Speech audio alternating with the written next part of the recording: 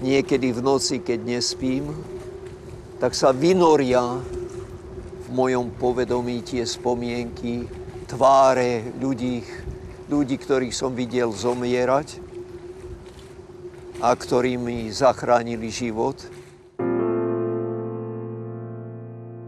A sú to ľudia všetkých krajín tohto sveta.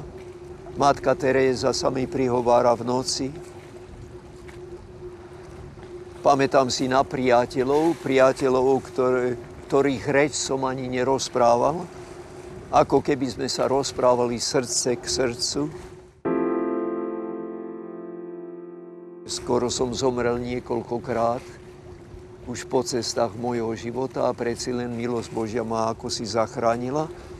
A vždy som mal toto povedomie, že Pán Ježiš tam bude a ako si ma zachráni od týchto nebezpečenstiev.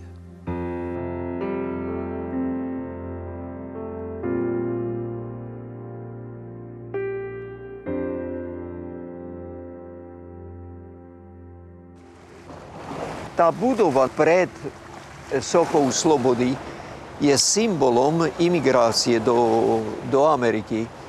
A to je to je to, to čo, čo ja cítim v svojom srdci, keď sa považujem za drotára, ten symbolizmus slovenského drotára, ktorý sa pobral